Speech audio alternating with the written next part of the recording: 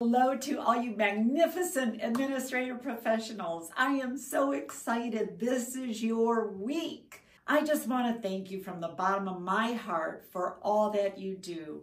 I know the hard work you put into each and every day.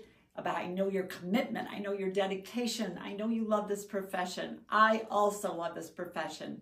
So I just want to wish you a fantastic week.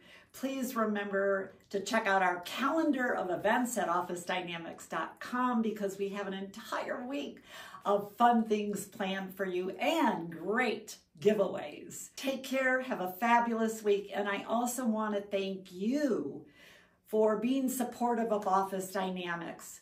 We would not be here 34 years later if it wasn't for you and supporting us in our work that we do to move your career forward. Take care, everyone.